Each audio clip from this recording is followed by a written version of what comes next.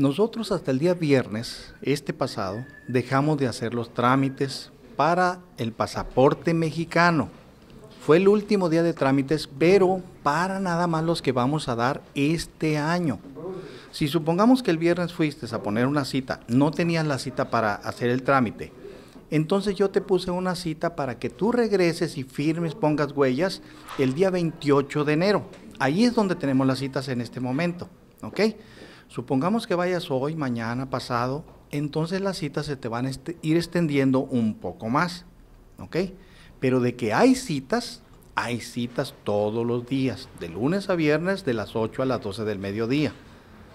Ojalá la gente entienda un poquito. Si tienen algún comentario, alguna duda, el teléfono de la oficina es el 3201697.